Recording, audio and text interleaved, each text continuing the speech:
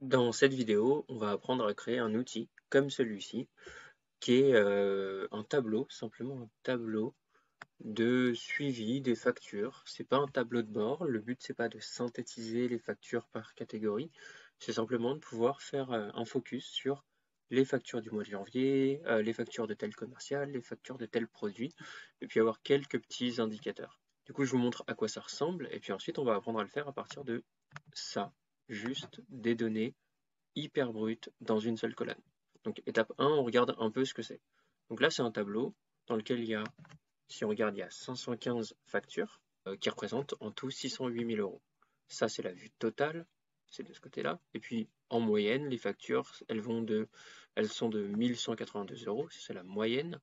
Et puis, elles vont de 400 à 2150 euros. Et quand on va vouloir focaliser sur, par exemple, 2023, il n'y a plus que 17 factures en 2023, donc il y en a beaucoup moins.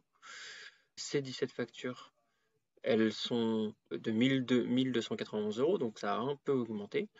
Et puis, si on regarde uniquement, par exemple, pour le produit A, il n'y a plus que 4 factures qui représentent une moyenne de 713 euros, alors que pour le produit C, c'est 5 factures qui représentent 1860 euros en moyenne. Et donc voilà, le but, ça va être de créer un tableau comme ça, partir d'une base de données, et de pouvoir facilement l'interroger en faisant des focus sur certaines données, certaines catégories de données, comme par exemple, je vais le faire dernier test, les factures de octobre, novembre et décembre de Étienne pour le produit B. Et ça nous dit, bah, y en a 8 pour un total de 9550 euros et qui font en moyenne 1194 euros par facture, avec on voit qu'il n'y a pas des énormes écarts. Donc je remets tout à zéro. Je vais faire euh, une capture d'écran parce que ça va me permettre de me guider et que vous ayez toujours en tête ce que j'essaye de créer. Donc impression. Et je vais aller mettre ma capture d'écran ici en tout petit, simplement en 8 par exemple histoire d'avoir toujours en tête ce que j'essaye de créer. Je vais le créer ici. Donc là, j'ai des données brutes qui sont euh, dans une seule colonne. Imaginons que ce soit un extract d'un logiciel, un extract CSV ou un fichier Excel qui a produit ce type de données pour pouvoir les récupérer ailleurs. Du coup, là, j'ai des données qui sont très brutes, qui sont inexploitables en l'état, et euh, dans lesquelles on voit qu'il n'y a bien qu'une seule colonne pour cinq informations. Donc la facture, la date, le produit, le commercial ou la commerciale et le montant sont contenus dans une seule colonne. Et nous, on va partir de ça. Donc si on regarde tout en bas, si je fais CTRL et flèche du bas pour aller voir tout en bas, on a 516 lignes en tout, c'est-à-dire 515 factures plus les titres. Et du coup, on va partir de ça et on va passer de ça à ça en une, trentaine de minutes, peut-être un tout petit peu plus, mais une trentaine de minutes environ. Premier truc que je vais faire quand j'ai ça, en dehors de si j'avais Power Query ou de si c'était euh, des fonctions que je pouvais utiliser, ce que je vais faire, c'est la méthode la plus simple, on verra mieux après, c'est que je vais aller dans Données. Alors je vais double-cliquer ici pour bien avoir mon, bandeau en grand. Maintenant, je vais aller dans Données. Je vais sélectionner toute la colonne et je vais cliquer sur Convertir. Et je vais lui dire que c'est un caractère qui va me permettre de déterminer quand est-ce que je crée une nouvelle colonne. Et ce caractère-là, c'est le point virgule. On voit qu'il y a des points virgules entre, chacune des infos qui sont dans la même colonne. Donc je vais décocher tabulation, je vais cocher point virgule, et là je vais cliquer sur terminer. Avant de cliquer sur terminer, je regarde bien ici. Il, il me montre un peu un aperçu de à quoi ressembleraient mes premières lignes si jamais je cliquais sur terminer maintenant. Et là, du coup, j'ai bien 5 colonnes. Et ça tombe bien parce que c'est ce que je voulais. J'ai 5 types de données, les factures, les dates, les produits, le commercial et montant. Maintenant, je vais faire franchement pas mal de mise en forme parce que avant de commencer à travailler des analyses, des trucs un peu plus poussés, euh, je vais faire pas mal de mise en forme. Et le premier élément qui est quasiment qui est de la mise en forme, mais qui est vraiment quelque chose de complet à faire tout le temps, qui va beaucoup plus loin que la mise en forme, c'est que je vais prendre toutes mes données. Donc pour prendre toutes mes données, je vais faire CTRL A et je vais aller les mettre sous forme de tableau. Accueil, mettre sous forme de tableau. Moi j'aime bien choisir les tableaux qui sont dans cette ligne-là, je les trouve très bien, très visuels, j'aime bien. Donc je vais prendre celui-ci. Je vérifie bien qu'il me propose que mon tableau comporte des entêtes, parce que ma première colonne, enfin ma première ligne, c'est bien celle des titres. Elle ne doit pas être traitée comme les autres, et donc je clique sur OK. Et là, du coup, c'est déjà plus facile de euh, pouvoir naviguer. Si je rajoute une donnée, ça va rajouter une ligne. Euh, et du coup, ça, c'est vraiment le format par défaut que vous devez tout le temps utiliser sur, euh, sur Excel. Les tableaux, c'est top 1 des trucs à toujours utiliser. S'il y a un truc à toujours utiliser dans Excel, plus que tout le reste, c'est les tableaux. Donc maintenant, ce que je vais faire, c'est que je vais mettre un peu de mise en forme. J'aime bien avoir une colonne sur le côté qui est vide. Je vais avoir des lignes qui sont vides au-dessus. Euh, parce que si vous le voyez bien ici, bah, je vais mettre des segments et puis des calculs au-dessus de mon tableau pour pouvoir faire des, focus et avoir des stats sur ces focus. Donc je vais le mettre juste un peu en décalé. Donc là, il commence, mon tableau il commence à la ligne 8. J'ai rajouté des lignes avec CTRL plus pour pouvoir faire ça. Et du coup, je vais rajouter des lignes. Je vous invite à rajouter des lignes pareil. La première ligne, je vais la faire un peu plus grande. Donc je vais dire qu'elle est 30 de haut soit le faire comme ça, soit le faire comme moi avec clic droit sur la ligne, hauteur de ligne, et vous modifiez ça. Troisième truc que je vais faire là-dedans, je vais euh, aller modifier un peu la mise en forme de mes cellules qui sont ici, pour faire en sorte que mes titres soient centrés horizontalement et verticalement. Et puis je vais sélectionner mes colonnes qui sont ici pour agrandir un peu et avoir un espace agréable dans lequel je vais travailler. Je remodifierai peut-être un peu après, mais dans un premier temps, je vais faire ça. Donc là, ça commence à être mieux. Je vais continuer avec de la mise en forme, notamment deux trucs qui sont importants, c'est comment est-ce qu'on gère les nombres. Et donc là, j'ai des nombres qui sont des dates. Les dates sur Excel, c'est des nombres. Euh, simplement, ils ne sont pas du tout au format date. Donc je vais sélectionner toutes les données de la colonne de tableau. Et pour faire ça, je vais faire CTRL, la flèche au-dessus de CTRL et la flèche du bas en me mettant sur cette cellule. Comme ça, ça va me sélectionner jusqu'à la fin de cette colonne-là. Maintenant que c'est comme ça, je vais faire clic droit, euh, clic ici, pardon, et date courte. Et puis je vais venir centrer les dates, souvent on les centre, c'est plus joli, c'est plus efficace. Et vous voyez que là, du coup, 44 000, 44 565, c'est devenu une date humainement compréhensible, le 4 janvier 2022. Puis on a plein d'autres dates. Euh, je vais faire la même chose avec les nombres qui sont ici. Donc on est toujours dans la mise en forme du tableau. Euh, mettre sous forme de tableau et mettre en forme ce tableau. Et là, du coup, c'est des montants, c'est de l'argent, du coup, je vais le mettre en monétaire. Je vais enlever les décimales parce que je vois que j'ai quand même des grands nombres, et même s'il y avait des euh, centimes, ils ne seraient pas forcément pertinents à afficher, donc je vais les enlever. Et puis je vais mettre un peu de retrait. Donc pour mettre un peu de retrait, je vais décaler, euh, aligner à droite, et ici augmenter le retrait. Comme ça, bah, j'ai un petit peu de retrait, ça change pas tout, mais c'est un peu plus propre et on va le faire sur tous les textes aussi. Donc là, c'est déjà mieux. On commence, euh, par rapport à ce qu'on avait avant, on commence à avoir quelque chose d'un peu plus visuel. Je vais prendre cette colonne-là et contrôle, flèche au-dessus de contrôle et flèche du bas, et j'augmente le retrait. Je vais prendre les deux colonnes qui sont là, donc je sélectionne les deux, et contrôle, flèche au-dessus de contrôle et flèche du bas, et je vais mettre un peu de retrait aussi. Et puis en vrai, comme moi j'aime bien faire, c'est que la première colonne, non seulement il y a du retrait, mais je vais la coller vers la droite, que comme c'est ma première, c'est un peu celle qui guide le reste. Euh, et, c'est un code que moi j'aime bien utiliser. La première colonne qui dit ce qu'il y a dans les autres, qui est la, clé qu'on va utiliser euh, pour euh, tous les, paramètres de cette clé. Je la mets en, alignée à droite. Là, c'est de mieux en mieux. Il va y avoir plein de trucs à faire. Hein. on va faire plein de trucs. Mais ce qu'on va faire maintenant, c'est encore deux ou trois petites règles de mise en forme. On va faire déjà affichage et on va aller masquer le quadrillage. Le quadrillage, c'est ce qui apparaît autour des cellules. Euh, c'est pas les bordures, c'est des sortes de bordures qui sont uniquement euh, là à titre indicatif. Et du coup, je vais aller le masquer parce que moi, j'aime pas, je trouve pas ça très beau. Donc là, vous voyez qu'elles ont disparu ici, c'est plus beau, plus esthétique. Je vais faire un autre truc, c'est que la première colonne qui est ici, je vais réduire sa taille, je vais dire que ça vaut 3. Moi j'aime bien prendre 3 par défaut, ça fait une colonne qui est à peu près la taille d'une ligne. Et du coup, je trouve ça assez esthétique. C'est votre choix, mais moi j'aime bien comme ça, vous le voyez ici. Et je vais aller masquer. Je vais aller ici, je vais sélectionner une cellule de mon tableau et aller masquer les boutons de filtre que j'aime pas. J'aime pas les boutons de fil, je trouve pas ça efficace. Je préfère largement mettre des segments et du coup j'ai masque. Et je vais faire un dernier truc, euh, il me semble que ça va être le dernier, avant de passer à la deuxième partie.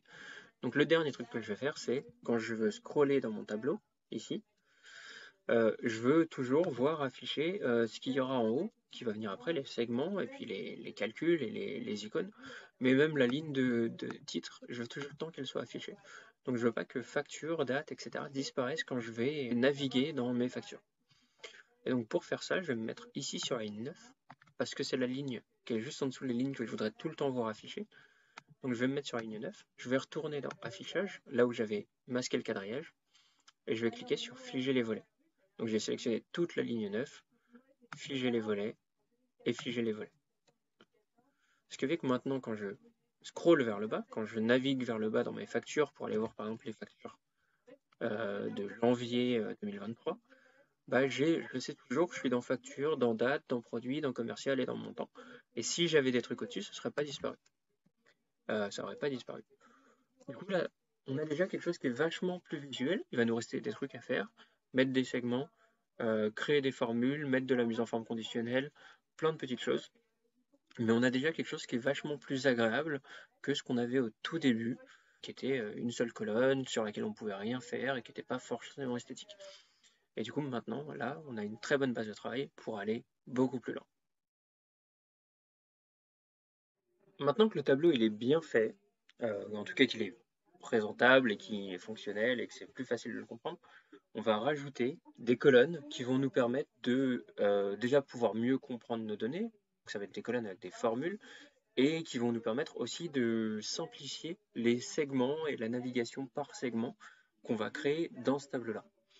Donc pour faire ça, bah, je vais rajouter deux colonnes ici pour obtenir à partir de la date l'année et le mois et deux colonnes ici pour euh, obtenir à partir du montant la TVA et le montant TTC. Donc déjà, on va commencer par ça. Et pour rajouter deux colonnes ici, je vais me mettre sur la colonne D, la colonne qui suit celle dans laquelle je vais rajouter. Et je vais faire CTRL plus deux fois, comme ça, ça me rajoute deux colonnes.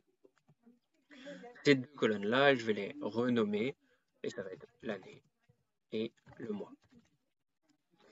Et du coup, ces deux colonnes-là vont être des colonnes de calcul dans lesquelles je vais faire justement des calculs sur la date. Euh, je vais rajouter deux autres colonnes, mais pour faire ça, histoire que vous voyez bien, je vais réduire un peu la taille initiale de ce que j'ai pour que on puisse bien voir euh, tout à l'écran. Ce sera pas parfait, mais je ferai mieux après.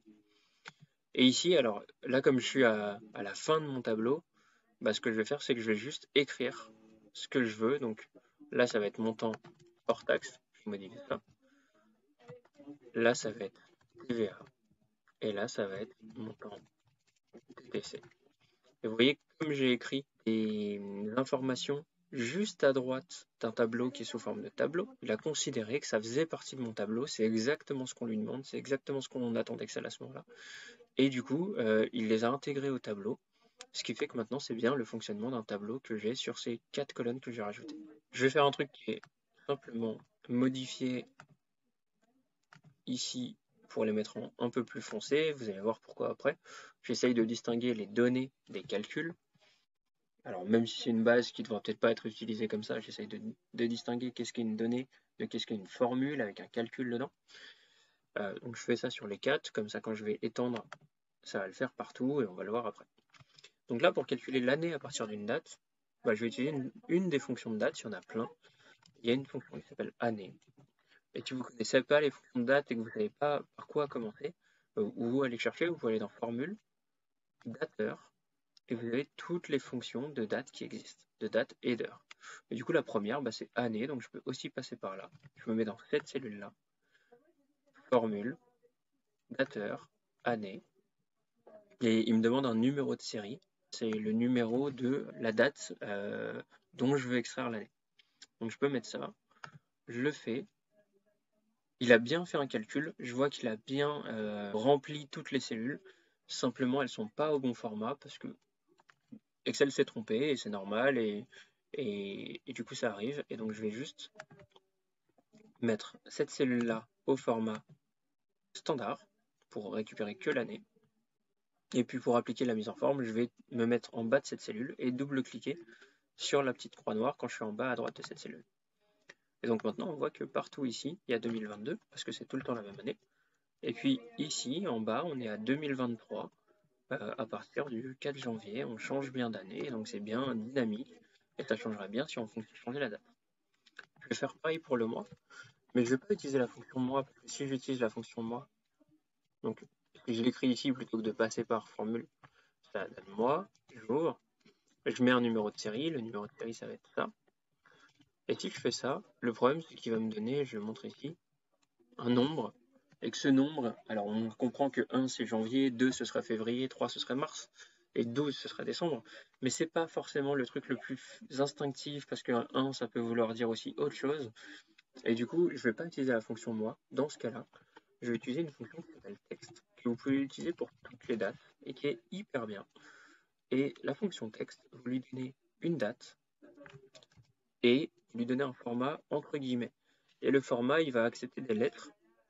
Et si vous mettez des M, les M c'est pour moi, si vous mettez des M, par exemple 4 M, vous allez voir que ça va vous écrire le nom du mois. Ici on est à janvier, puis là on passe à février, puis on passe à mars, avril, etc. Donc ça fonctionne. Si je mettais que 3M, j'aurais que le début du nom du mois. Si j'en mettais que deux, ça me donnerait le numéro en deux chiffres. Et si j'en mettais que un, ça me donnerait le numéro en un seul chiffre. Et vous doutez bien, en tout cas, vous pouvez le, commencer à le percevoir, qu'on pourrait mettre des J, on a mis des M pour les années, euh, pour les mois, on pourrait mettre des J pour les jours, et ça nous dirait pour chacune des dates, est-ce que c'est un lundi, un mardi, etc. Nous, on va utiliser M, 4M, et comme ça, j'ai janvier, février. Puis là, je vais refaire le truc de double-cliquer ici pour avoir bien la mise en forme partout. Ici, ce qu'on veut calculer, c'est plus à partir d'une date, c'est à partir d'un montant. C'est pour ça que je l'ai mis à partir d'ici. Je vais faire. Euh, imaginons que la TVA soit 20%, on va considérer que c'est ça et on va le mettre en dur ici, même si on pourrait faire mieux. Là, il n'y a pas trop de raison de le faire. Donc, je vais considérer que ce sera le montant de TVA, ce sera toujours le montant hors taxe fois et 20%. Je vais le mettre ici je vais double-cliquer pour aller tendre vers le bas et je vais mettre un tout petit peu de retrait, comme on l'a déjà fait avant. Et là, pareil, alors je pourrais faire soit ça fois 120%, soit maintenant que j'ai mon hors taxe et mon TTC, je vais faire somme de ces deux colonnes, de ces deux cellules-là, et euh, je ferme ma parenthèse, et du coup, il va calculer la somme à chaque fois. Là, il n'a pas du tout mis la mise en forme, alors qu'il l'avait fait un peu avant, donc je vais faire monétaire, enlever les décimales, mettre un peu de retrait et est à droite pour que ce soit bien nickel comme on l'avait sur les deux colonnes précédentes. Et du coup là j'ai bien mes quatre colonnes de formules qui ont été rajoutées pour pouvoir euh, visualiser mes infos. Je vais faire encore un truc qui est ici. Alors pour l'instant je vais le faire en petit puis je ferai mieux après. Ici je vais euh, mettre un petit truc qui soit, je vais mettre NB facture pour l'instant. Et ici je vais mettre total un petit, on fera mieux après, pas d'inquiétude, ce sera euh, mieux. D'ailleurs, si je veux bien me repérer par rapport à ce que j'ai déjà fait là, ça je vais l'écrire ici, pardon. Et donc là, ce que je vais vouloir calculer, je vais faire une autre fonction, donc euh, un peu comme la fonction somme euh, que j'ai faite ici, mais je vais faire une fonction nombre val, nb val, dans laquelle je, vais lui dire, voilà, je prends une colonne, donc par exemple celle-ci, comme ce sera très bien, ou celle-ci sera très bien aussi. Nombre val de la première cellule du tableau jusqu'à la dernière cellule du tableau. Et mon tableau, il s'appelle tableau 2. Et c'est la colonne facture. Du coup, comme je suis allé jusqu'en bas du tableau, il considère que c'est tout le tableau, et c'est très bien. Donc si je fais ça, il va me dire qu'il y a 515 valeurs, 515 factures. Et si, je fais somme et que je fais la même chose là-dedans, alors dans la colonne hors taxe, on va prendre la colonne hors taxe, je sélectionne la première, je fais contrôle, la flèche au-dessus de contrôle et flèche du bas pour sélectionner jusqu'à la dernière. Je fais bien tableau de montant. Et là, du coup, je vais avoir un montant qui est de 608 euros 950. C'est ce qu'on avait pour rappel ici, tant qu'on n'a effectué aucun filtre. Du coup, là, j'ai ces deux trucs-là. Je vais mettre un tout petit peu en forme pour qu'on voit bien, qu'on comprenne bien. Je vais mettre comme ça. Et puis, je vais simplement mettre ici. Alors je fais des mises en forme que j'aime bien faire, il n'y a pas d'obligation. Je vais mettre tout ça avec des bordures blanches, parce que j'aime bien aussi. Et euh, bah, ça, je vais le décaler vers la droite. C'est pas parfait parce que les colonnes sont pas encore à la bonne taille. On va faire mieux après. Et puis ça, c'est un nombre normal, je vais le centrer. Et ça, c'est une valeur monétaire. Je vais la coller à droite avec un de retrait. Du coup, là, j'ai quelque chose qui est pas mal, qui me donne déjà un premier aperçu, qui va me permettre de créer ensuite les segments, qui sont le prochain truc qu'on va créer. Alors maintenant qu'on a bien nos colonnes qui ont été créées, je vais supprimer l'image qui est là, et je vais juste remontrer ça en plein écran. On va s'attaquer à faire quasiment tout ça en commençant, donc toute la partie qui est en haut, en commençant par euh, ce qu'on appelle les segments ici. Et avant de faire les segments, je vais mettre le tableau aux bonnes dimensions pour qu'il prenne la totalité de ma feuille. Donc je vais sélectionner ça, déjà ces colonnes-là. Je vais agrandir un peu, euh, peut-être un peu plus. Celle-là, je sais que je vais la réduire un peu. On va faire 15. Euh, vous voyez que là, je l'avais réduit un peu euh, aussi. Déjà parce que c'est une donnée qui dont le titre est un peu moins long, pour plein d'autres petites raisons. Donc bah là, en vrai, c'est pas mal. Là, c'est pas mal. Je vais réduire ça. Donc là, on a à peu près la même chose que là c'est pas exactement la même chose, on a à peu près la même chose que là. Vous voyez que là j'ai agrandi la hauteur des lignes aussi, parce que ça va me permettre de mieux pouvoir, euh, qu'on voit mieux ça et qu'on voit mieux les données qui sont ici. Donc je vais faire ça aussi. Donc là, mes lignes elles doivent faire 25 de haut, en tout cas elles sont un peu plus grandes. Bah, je vais faire pareil, clic droit, je sélectionne celle-ci, clic droit et 25. Et puis là, du coup, ça doit ressembler pas mal à ce que j'ai ici. Alors, pas au millimètre près, hein, mais ça doit ressembler pas mal. Ici, ce que je vais faire, c'est que je vais centrer, comme ça c'est déjà fait. Là, je vais redécaler sur le côté. Et avant de faire les segments, dernier truc que je vais faire, c'est que je vais paramétrer ces cellules-là aussi. Donc je vais pas mettre les formules qu'il y a dedans, mais juste la mise en forme pour que je sache que tiens, ça s'arrête là. Donc ce qui veut dire que la mise en forme, ici, je vais la reprendre. Je vais la mettre là aussi. Et là, alors celle-là, ça et ça, je vais supprimer les valeurs qu'il y a dedans. Je vais supprimer les valeurs. Mais je sais que ici, j'aurai mes cellules qui vont contenir moyenne, min, max, et etc. Puis là, du coup, euh, je ferai la, mise en forme après. Donc, euh, ça me permet de savoir que mes segments, bah, année et mois, je vais les faire aller jusqu'à la fin de la colonne H. Et puis, mon segment, mes segments produits et commercial, je vais les faire aller jusqu'à quasiment la fin de la colonne F.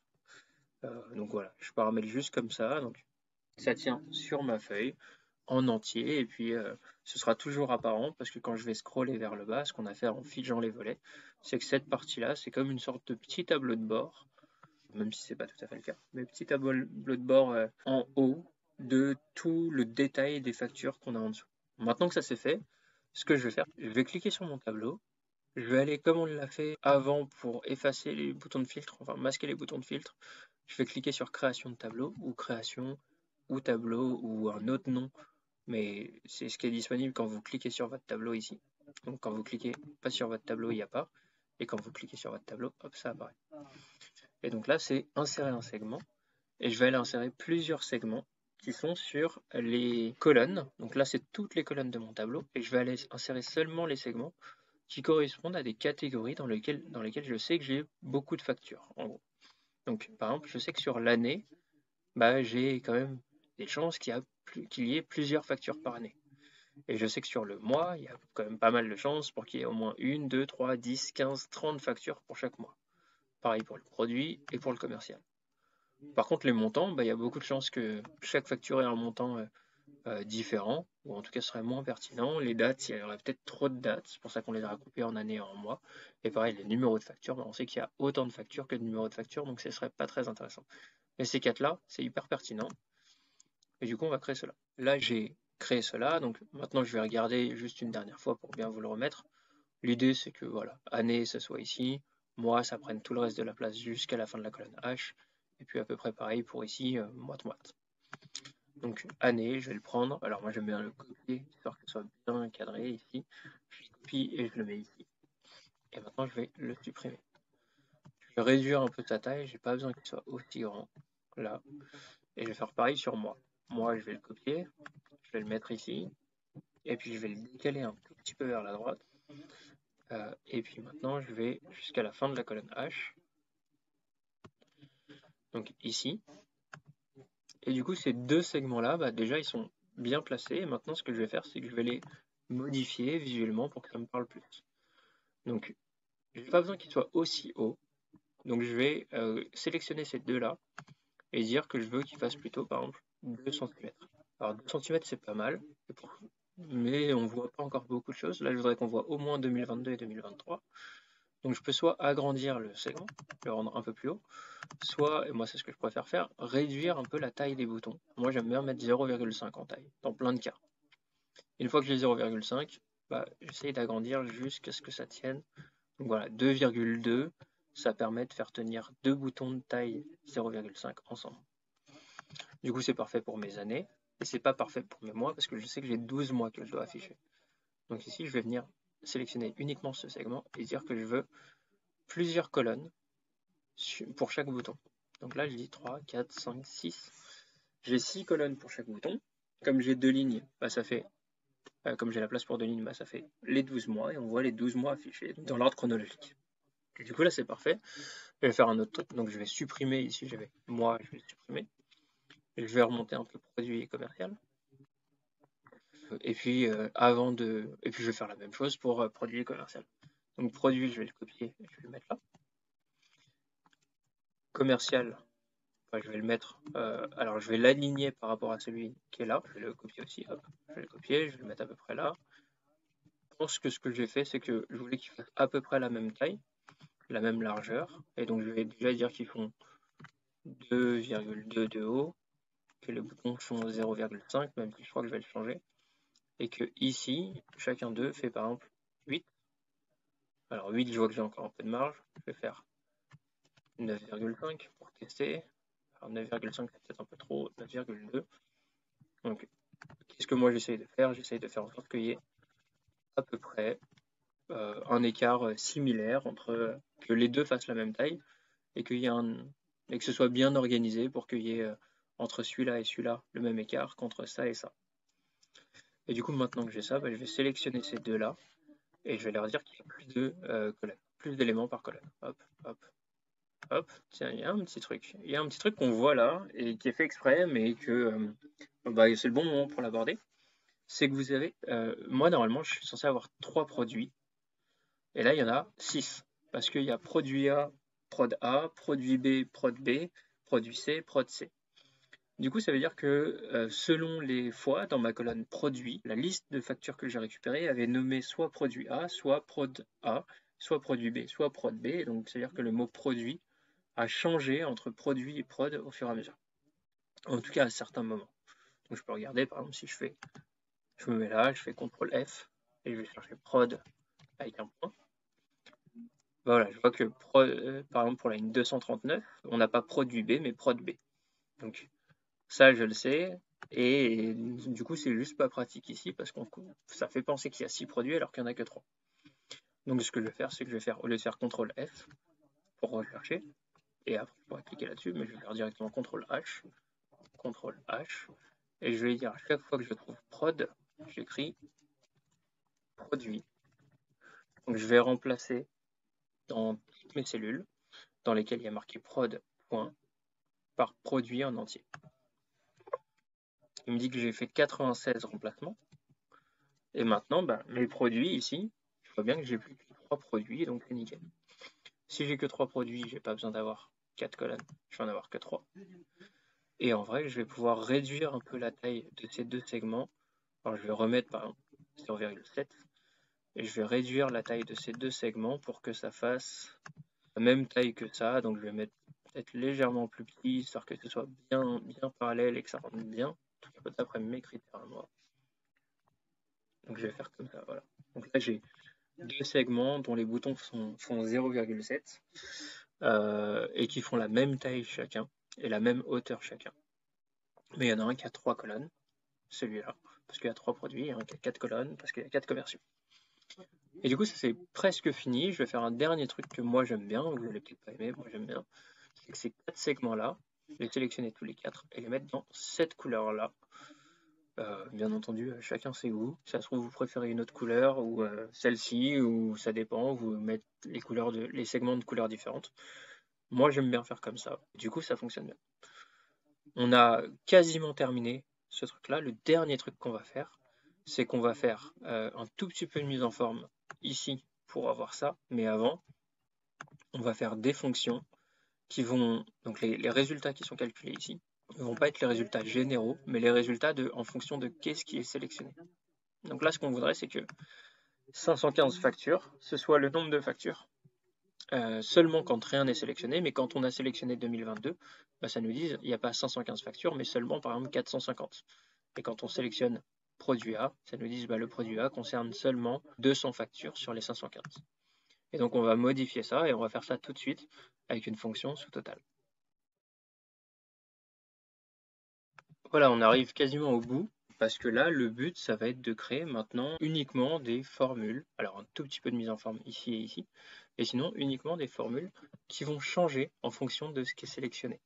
Parce que là, on a fait une fonction somme, et quand on dit bah, je veux voir uniquement loup, bah, ça nous dit que c'est toujours 608 000, alors qu'on voudrait que quand on sélectionne loup, ça nous montre seulement la somme des factures de euh. Et donc euh, on va changer ça, je vais commencer par un peu de mise en forme, celle-ci euh, en premier. Donc là, ça va être mettre une mise en forme conditionnelle pour qu'on distingue au premier coup d'œil les factures qui ont un montant élevé des factures qui ont un montant euh, assez, assez peu élevé. Donc je vais sélectionner la première cellule des montants, contrôle, flèche au-dessus de contrôle et du bas. Et là, je vais lui dire que je veux mise en forme conditionnelle et je vais mettre une mise en forme conditionnelle de barre de données, donc de barre de données, et celle-ci euh, qui va faire apparaître en gros du premier coup d'œil une barre de progression, une barre de données qui va être plus ou moins rempli en fonction de si la facture, le montant de la facture est plus ou moins élevé. Donc on voit que par exemple, bah, 800 c'est plutôt bas, alors que 1800 c'est plutôt haut, et c'est normal parce que les valeurs max qu'on a, c'est entre 0 et 2150. D'ailleurs, c'est entre 0 et 2150, et vous n'êtes pas obligé de me croire, donc je vais faire ici, on va faire moyenne, juste pour que vous voyez. Ici, on va faire min max. Ici, je vais écrire en entier nombre de factures, histoire que ce soit plus beau. Et je vais centrer un petit peu par là. va pas centrer, mais justement mettre, euh, euh, aligné à droite avec un retrait. Euh, si je voulais pas des fonctions qui soient dépendantes de ce qui, est sélectionné, bah, je, continuerai, comme là je l'ai fait avec nombre val et somme. Je ferai ça c'est égal à la moyenne des montants. Ici, je ferai ça, c'est a la mine du montant. Ici, je ferai ça, c'est a la max des montants. Et donc, on verrait bien que la moyenne des factures, c'est 1182 euros fois 515 factures. Donc, ça fait un total de 600 bah, 000. Le minimum des factures, c'est 400. Et puis, le maximum des factures, c'est 2150. Donc, ça, c'est des, vérités sur l'ensemble des factures. Mais peut-être que pour Givril en février et pour le produit B, bah, c'est pas du tout ces ordres de grandeur là. Et c'est ça qu'on va vérifier. Donc là, je vais désélectionner tout ça.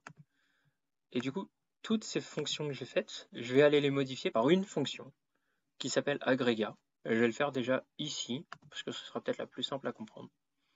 Donc là, j'ai fait ma fonction somme, et je vais aller supprimer ma fonction somme, supprimer le fait qu'ici soit somme, et remplacer par agrégat fais agrégat. Et dans la fonction agrégat, j'enlève la parenthèse, je remets la parenthèse. Et là, il me dit le premier argument dont il a besoin, c'est quelle fonction on veut utiliser. Donc je vais double, double-cliquer sur somme. Ensuite, virgule, il me demande quel type de calcul on veut faire, en gros quel type de, euh, de valeur on veut prendre parmi les valeurs qui sont dans la plage. Donc je vais lui dire, je veux ignorer les lignes masquées, euh, c'est 5. Mais je vais lui dire en même temps, moi je vous conseille de souvent prendre le 3. Je veux ignorer les lignes masquées, les valeurs d'erreur et les autres fonctions sous total, sous total et agrégat qui sont déjà dans mon calcul. Donc je vais prendre le 3 et en général je vous conseille très souvent de prendre le 3. Et puis ensuite point virgule, et ça c'est ma plage. Donc je fais ça. Et là il me dit que c'est 608 000 à nouveau. Mais si je clique sur Lily, bah, j'ai plus que 140 000. Et si je clique sur Étienne, euh, pardon, Étienne, 162, Givril 163, Lou 143. Et si je prends bah, en mars et pour le produit A, bah, on voit que je suis plus qu'à 2200 euh, euros parce qu'il n'y a peut-être qu'une seule facture ou deux ou trois factures pour le mois de mars 2022 pour le produit A et pour l'eau. Je vais supprimer ça. Hop. maintenant, on va pouvoir faire la même chose sur les autres. Donc nombre val, bah, je vais supprimer nombre val, je vais supprimer la parenthèse et je vais écrire agrégat. Je vais dire que je veux nombre val, c'est le 3 ici, point virgule, 3, point virgule, la plage. Ici, je vais faire la même chose, moyenne, je vais supprimer moyenne et supprimer la parenthèse, je vais faire agrégat. Moyenne, c'est le premier, point virgule 3, point virgule, ce qu'on avait déjà. Mine, c'est pareil. Agrégat. Mine, c'est le 5. Point virgule. 3. Point virgule. Ce qu'on avait déjà. Et le max. La même chose. Agrégat. Point virgule. Euh, agrégat, pardon. Max. Point virgule. 3. Point virgule. Ce qu'on avait déjà, donc la plage. Euh, des montants Donc là, je fais ça, et vous allez voir que maintenant, bah, ça va bien fonctionner, parce que si je dis, bah, je veux voir Gibril, ça me dit que Gibril c'est 131 factures sur les 515, à 163 000 euros, que son max c'est 2050 euros, alors qu'au total le max c'était 2150 euros. Et si je prends euh, Mars, Lily, produit B, bah on voit que c'est le minimum de Lily en mars pour le produit B, c'est 1100 euros. Et puis si je fais un peu différemment avec juste un truc, alors que pour le produit A, il y a 172 factures pour 123 000 euros. Pour le produit B, il y a un petit peu plus de factures pour un peu plus d'argent. Et pour le produit C, bah, il y a moins de factures, mais pour encore plus d'argent. Donc logiquement, la moyenne ici du produit B, elle est très différente de la moyenne du produit A. C'est euh, deux fois et demi le montant moyen des produits A est vendu euh, deux fois et demi moins cher que le montant moyen des produits B, euh, des produits C. Du coup, voilà, là, on a un tableau de bord qui est, enfin pas un tableau de bord, on a un tableau dans lequel euh, il y a des segments qui font que c'est facile de pouvoir euh, faire des focus et voir un peu euh, bout par bout les factures qui correspondent à telle sélection. Et on va faire un dernier truc là-dedans, qui cette partie-là. C'est juste du détail visuel, mais moi j'aime bien et je trouve que c'est important. Du coup, ce que je vais faire, c'est que ici, je vais déjà, euh, bah, je vais écrire total d'ailleurs. Total, détail. Je vais les mettre, je vais les centrer, les centrer comme ça et les mettre en bleu pour que ce soit harmonieux. Je vais les souligner comme ça, c'est bien. Euh, et ici, donc pour l'instant, je vais m'arrêter là. Et ici, je vais aller rajouter insertion, une icône icône et je vais aller rajouter une icône qui ressemble un peu à une facture. Alors comme il n'y en a peut-être pas, je vais mettre de manière plus générale document. document, et puis je vais prendre celle-ci. Alors je dis pas que c'est ce qui ressemble le plus à une facture, mais on va faire ça.